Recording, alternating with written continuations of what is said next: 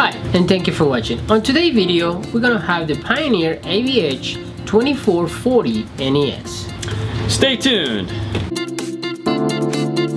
So it's that time of the year again. Pioneers come out with new radios. The 2440 is the replacement for the 2330. There are subtle differences between the two that we'll hit on through this, but for the most part it is a very similar radio. Almost exactly similar. Now, if you're wondering what the difference between a 2440 and a 2400 is, well, let's open the box and I'll show you the first major difference.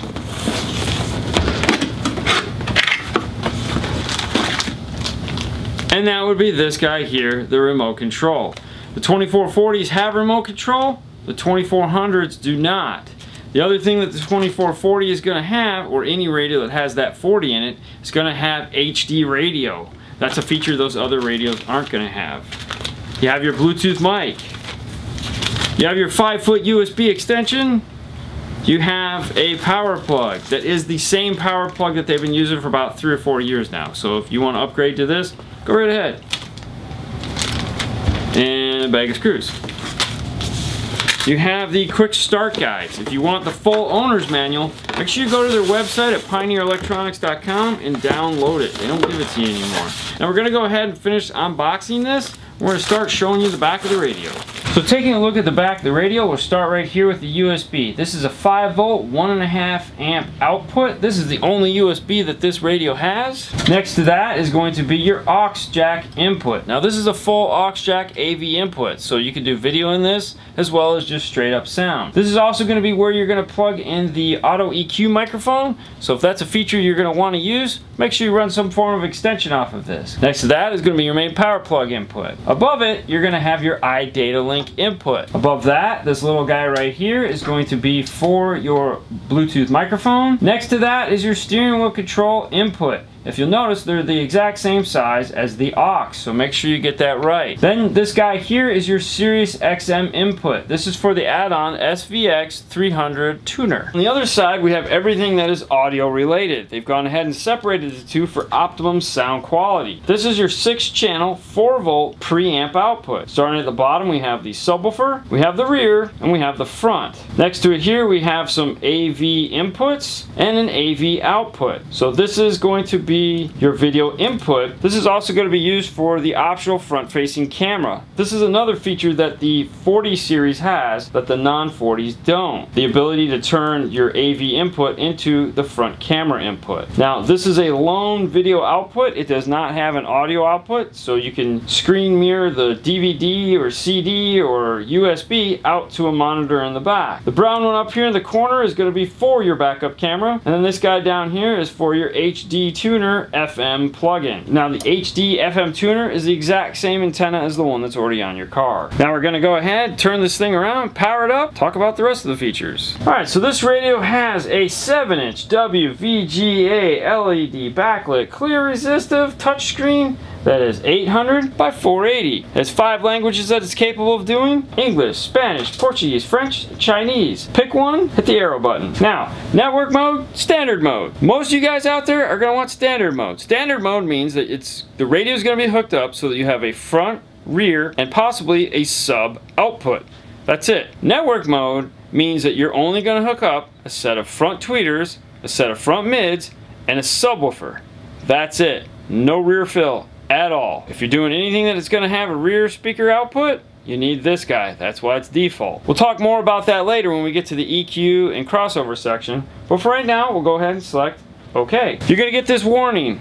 Don't worry. In six seconds, it disappears just like that. Now this radio has 50 watts by 4 of internal power. It's got a couple hard buttons here on the bottom. Let's go ahead and talk about those real quick. First up is volume up and down. It's just that. Touch it, volume goes up, volume goes down. Next to that you have like picture in a picture so to speak. This allows you to switch between the main unit here and if you have Apple CarPlay or Android Auto running in the background, simply tap this button to toggle between the two. If you press and hold it, it'll automatically bring up the backup camera if you have that connected. Main menu button. This is the main menu that we're looking at right now.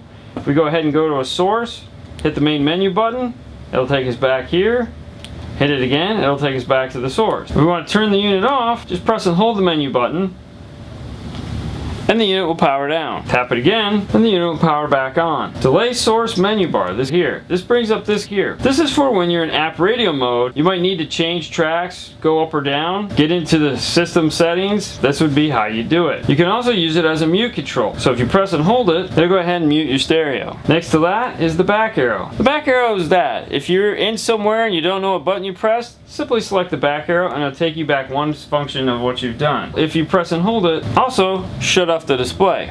Now it's just doing that, it's shutting off the display, nothing else. So all your features are still working in the background, it's just a black screen. This is nice for nighttime driving to prevent eye fatigue. Next to that is going to be your microphone for push to talk. Now depending on whether you're using Android Auto or Apple CarPlay, it may already be on the screen, but if you don't feel like touching your screen, you can always touch this guy right here. Now last but not least is eject. This will allow you to tilt the screen if you have some form of a glare, and of course if you tap it, this will get you to the CD DVD player located behind the screen. Hit it again, or load a CD in, it'll automatically close. So one of the most important things you do when you put a radio in the dash is what?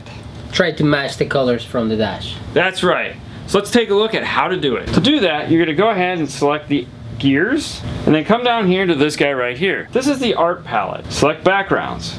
Now there's several backgrounds to choose from, five here, as well if you scroll over, you have three moving backgrounds, and then this guy right here in the center, this is allowing you to import your own background. Now these are moving backgrounds here, as you can see. You can't import one that'll do that, but any static image it'll allow you to do. We don't want to do that. We'd like some form of a background, so we'll go ahead and tap that. Now we can also have a different background for the home screen. So we'll go ahead and select silver for that. Then we'll select themes.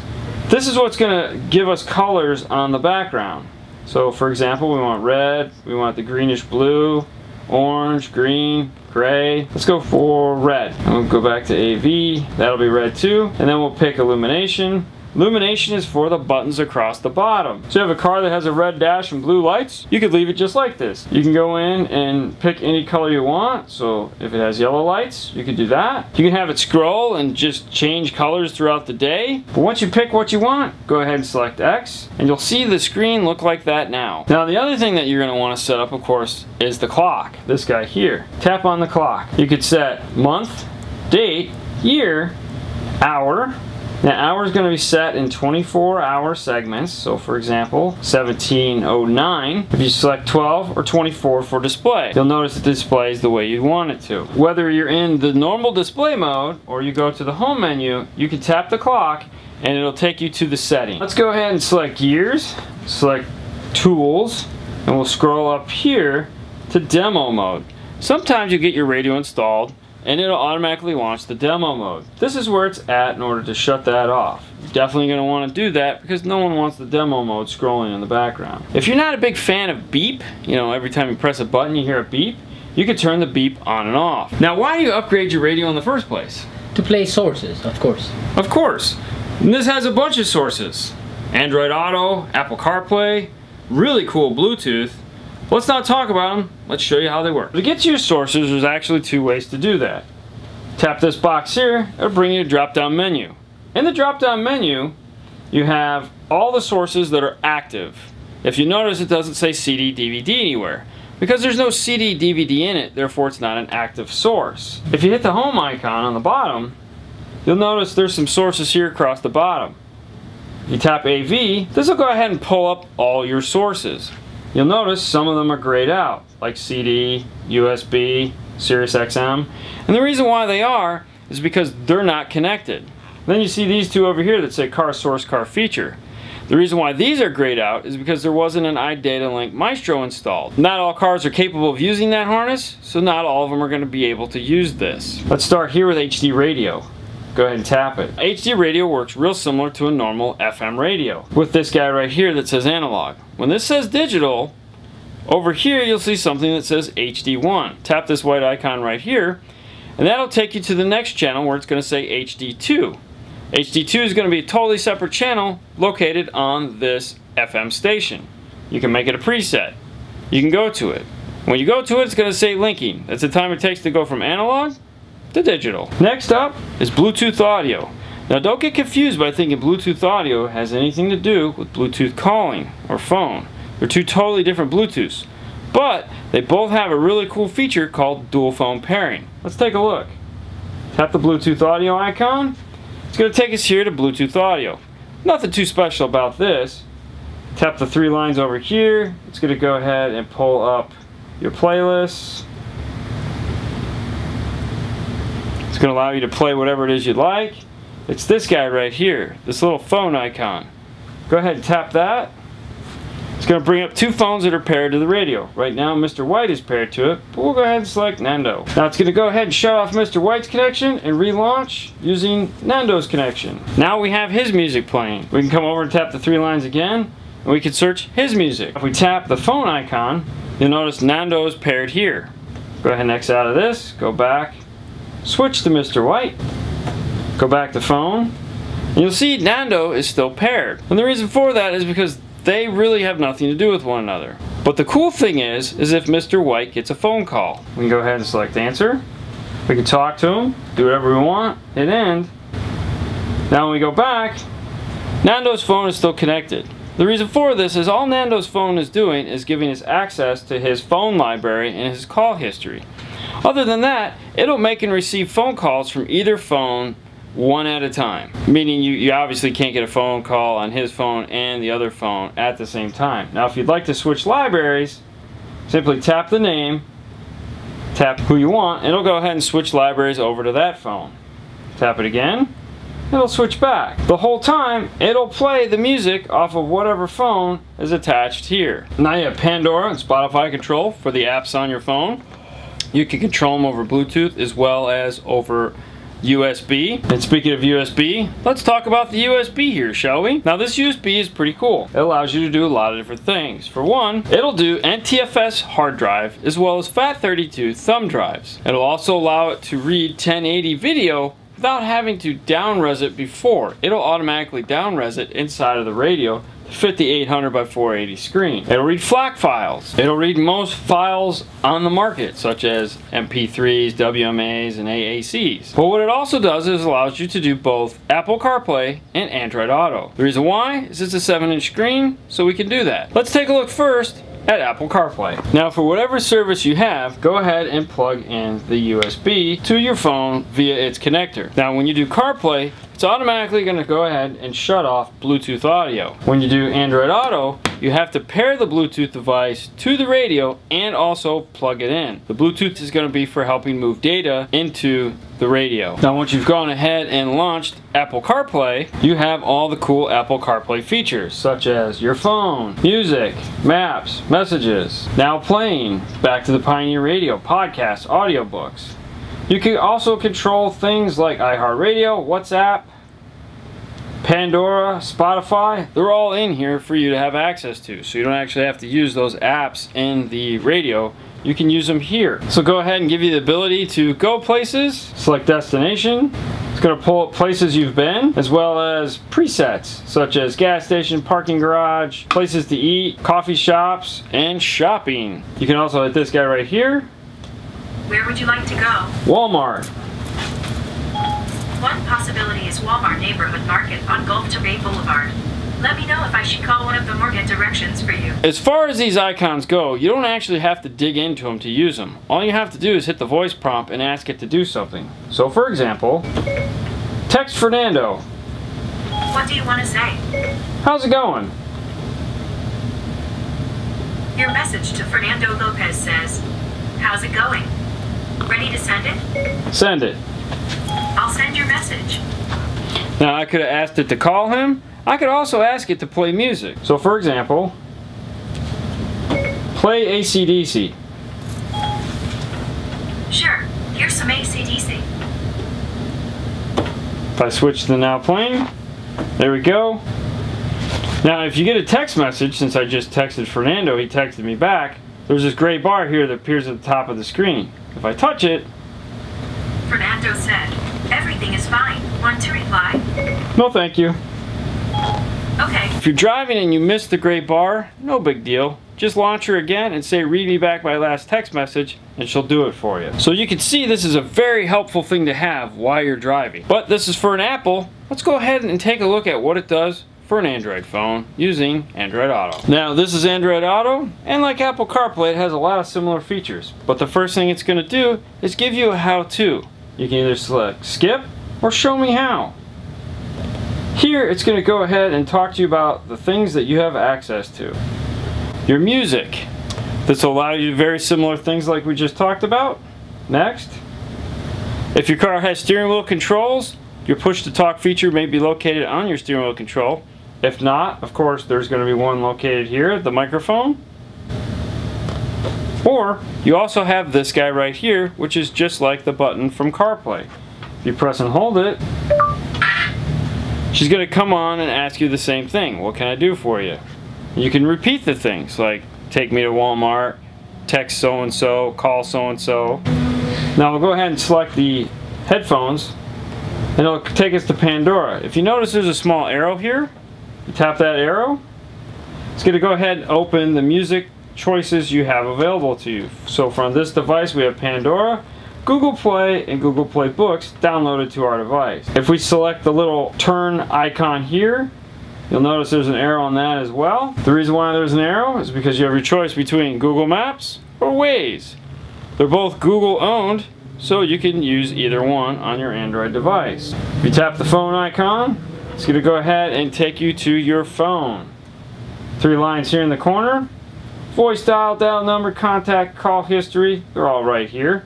You of course can just press this and say call so and so and they'll do it for you. The big circle in the middle is going to take you to your home. This is where a lot of things are going to be displayed, such as your temperature, the music you're listening to on Pandora. You can thumb up, thumb down from here. If you have a map going on, there'd be a little icon of a map. Tap the speedometer here in the corner. That's just going to return you to Pioneer's system. Now continuing on on our source journey, we have iPod. It's just that.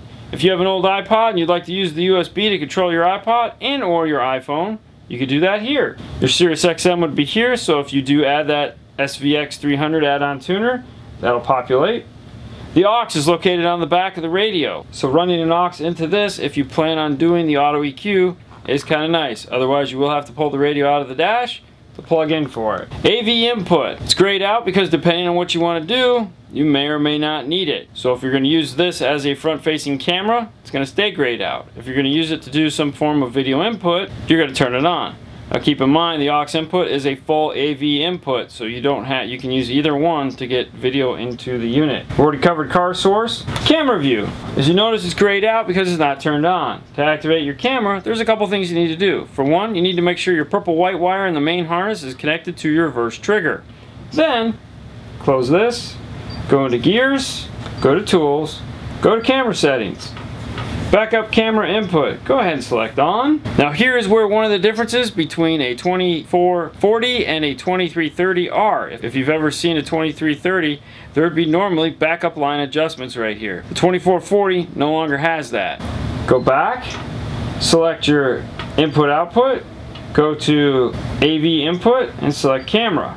This is where turning on for your front camera is going to be located. Go ahead and select back, Select X. Now you'll notice that the camera icon is lit up. Go ahead and tap it. Over here in the bottom corner it says 1 and 2.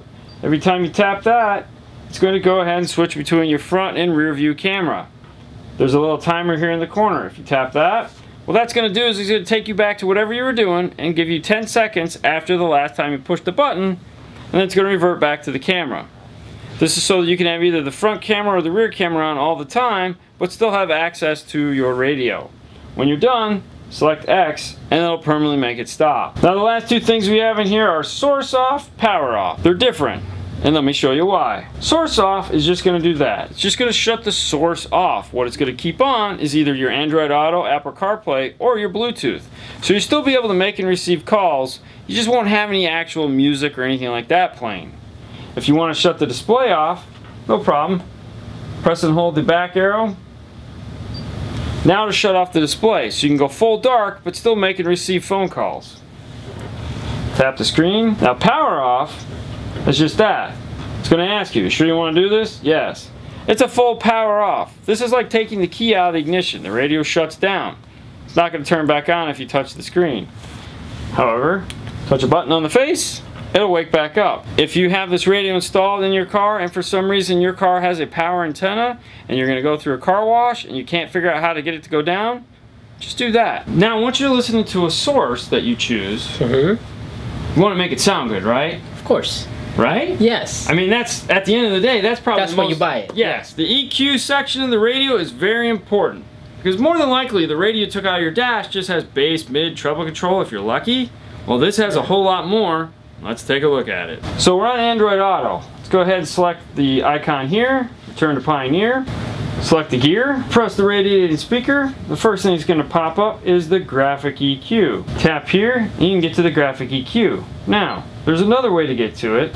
If you're on the main screen listening to your source, if you'll notice over here, there's an EQ icon. You touch that, it'll pull up that same EQ. Change it, and when you go back, you'll notice the icon has changed. The icon represents the current EQ that you're listening to. So you can keep an eye on that, and if for some reason you think it's changed, you can look in the corner. Tap there, it'll take you back. Now in the main EQ, you have five presets as well as two customs. Tap custom one, you can go in and adjust this any way you like. That looks like the perfect curve. Go back, go back. Next up, balance and fader. It's just that, balance and fader. Bang around here.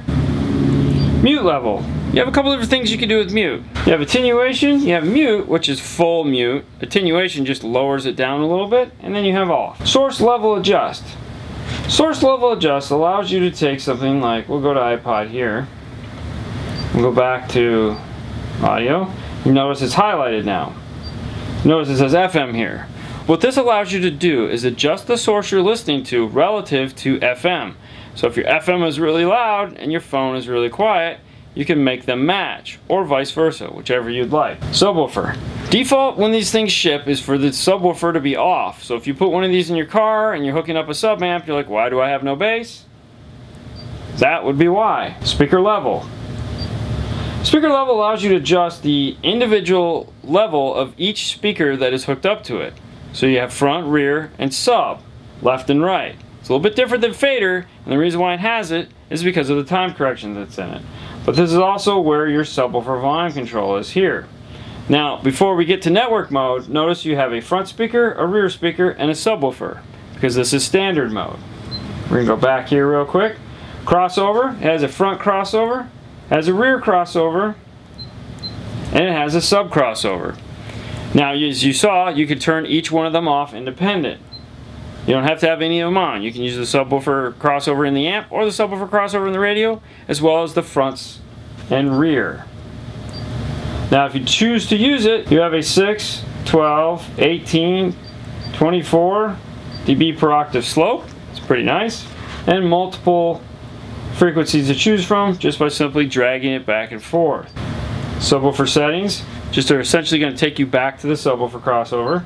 Listening position. This has to do with time correction. So if you go ahead and click front left, it's going to try to bring the sound all the way to you here, the driver. Time alignment. This is where that front left comes into play. Now what it's done is it's just gone ahead and put in a bunch of generic numbers that really don't mean anything. You can of course take a tape measure and go from your head to the speaker and enter it here in inches. That'll help to align time correction much better. Then you can go back to speaker level control and do any fine tuning you have to do with the levels themselves. Auto EQ we talked about is done through the aux jack and the add-on microphone. It's grayed out right now because the radio has to be in standby in order for it to actually function. Now before we get to safe setting and load settings and all the other things that are coming up, this was in standard mode. Let's go back and take a look at network mode real quick. In order to do that, we have to X out of this. We have to go to Gears, Tools, scroll up to Restore Settings, All Settings, Restore. Now what we're doing is we're going to bomb this radio back to out of the box factory specs. And you have to do that for network settings and standard settings because of the way it sets the radio up. The first thing it does is it takes your front and rear RCA outputs and changes them. The front RCA becomes tweeter and the rear RCAs become mid. It also changes the way the Bluetooth output for speakers, meaning when someone's talking to you into the car, when you're in standard mode, Bluetooth comes out of front, left, and right. Well, now those are tweeters. So they move the Bluetooth phone to the mid, which is now your rear RCAs. It's a very important thing. Also, what it does is it changes the output of the radio's deck power. So the front deck power becomes tweeter and the rear deck power becomes mid. Now we'll go ahead and select our language. We'll select network mode. We'll select OK. Now we're going back into the EQ in network mode. The first thing we're going to notice is we go to balance and fader, we just have left and we have right. This is a telltale sign to see if you accidentally put it in network mode. If you don't have front and rear, you just have left and right, it's in network mode. We'll go to speaker levels. Now if you notice the rear speaker icon is gone, but it's added this little tweeter icon here. So now we have independent level control for the front tweeters and the front mid. And if the subwoofer was on, which it's off because we just reset the unit, we'll go back. There's the subwoofer. Now we can come over here and select listening position, driver. We'll go into time alignment. And there again, the rears are gone, and now we have time alignment for the front tweeters and the front mid-range, as well as subwoofer. Another biggie that gets changed is crossover. Because you're doing a tweeter, you need to have a tweeter crossover. So this says high for the tweeter crossover. Now the tweeter crossover is not capable of being shut off, meaning it will always be on. Unlike when we had front rear sub and we could turn each one of them off, this has to stay on. However, mid low pass, which is going to be the cap to stop the mid-range from playing up into tweeter frequencies, you can turn on and off mid-high pass to keep the bass from getting to it. You go ahead and turn that on and adjust that as well. This creates what's called a bandpass, meaning a top for the mid-range and a bottom for the mid-range. So it doesn't play too high and it doesn't play too low. Of course, last but not least, we have our subwoofer crossover. We've taken the time to go through this setup and done all the things that we needed to where we have it sound amazing. We're going to want to go here to save settings. Save settings is just that. If you tap this, it will save the settings. That way if the battery ever gets disconnected or something happens, you can come in here to load settings and load the setting you just made so you don't lose it and have to go through it all over again. Bass boost. This is great for if you have music that has a real poor bass track and you want to try to get some of that feel back into the music. Bass boost. Keep in mind though, if your track has a ton of bass, it will blow speakers. Loudness. Loudness is nice if you're a low quiet listener but like impact in the music. What it's designed to do is increase the bass and treble response. You have three choices, low, mid, and high. As you turn volume up, the effect will decrease, but while volume is low, it really brings some feel to the music. Automatic level control, modes 1 and 2 are off, default being off. It's just that, it's going to control the level of variously recorded music. So if you have tons of genres um, and record levels and it's just all over the board. If you turn this on, it'll help to level those out so you won't have to keep riding the volume control. And then lastly, sound retriever. Default is mode 1. It's trying to bring back that compressed media to make it sound better. Now since we're in the menu, let's go ahead and select gears. There's one other thing I want you to see. We're to scroll down here till we get to the bottom where it says system information. Go ahead and tap that. Tap firmware information. Firmware information, this guy right here. So firmware information is very important, and why is that? It's because they need to do updates. And they do quite a bit of them. Usually about three or four a year. And each one of those generally fixes something that's gone goofy on the radio. You have to keep in mind, with Android Auto and Apple CarPlay, those guys are constantly updating their devices. That means this radio also has to be updated. It's going to be done through the USB, through a thumb drive. So what you want to do is periodically go to pioneerelectronics.com and check under your radio's model number under support tab and see if there's been an update. If you register your unit, they should send you an email letting you know when there has been an update. It's the reason to register it. Trust me, you're gonna want to do it. All right, that's it. All right. I know, right? Yeah. That's a lot. These things do do a lot of stuff. There's a lot of buttons and bells and whistles to, to, to, just get in there and feel. There's only one difference between a 2440 and a 2330, and that's the backup lines. They took those out, as I said. They're gone. Other than that, it's the same radio. They didn't change anything else. Well, in the model number. So, if you've got a 2330, it's up to you what you want to do. You know, chasing numbers, it's a fun game. you know, you want that, those lines going? Yeah hated those. um, all right, guys. That's it. I know. We're done. Fernando. Alright, if you like this video, please subscribe, share, like. You know where you find us, Facebook, YouTube, and Instagram. Alright, this has been a fun one. Thank you for watching so much. As I like to say, you guys have a great night as always, and we'll see you later next time. Bye. Dude, That was awesome. well, I wish my wife